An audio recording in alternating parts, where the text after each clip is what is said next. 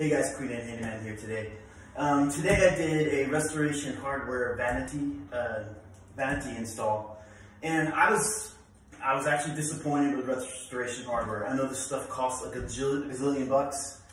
Um, the finish looks nice, the top looks nice, but putting it together was not fun. Um, so I got the cabinet leveled and butt up against the wall, screwed into the wall stabilize it.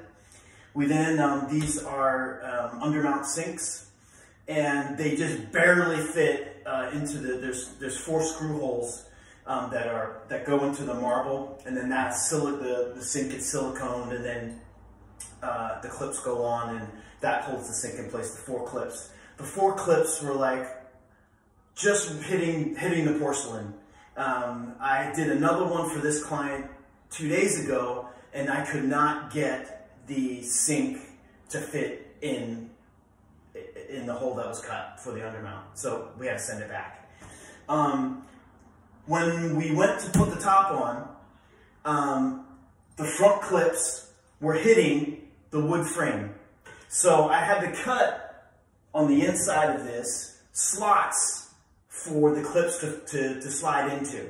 Other than that, it was like hanging up like maybe three quarters of an inch because the clips were just resting on top of this that was that was really disappointing.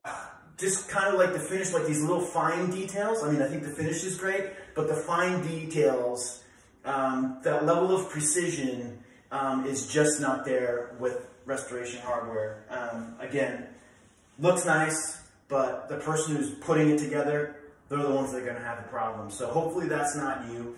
Hopefully you're not a do-it-yourself, or hopefully you're hiring a company to come in and do it. And I know a lot of people are going to say I'm whiny here.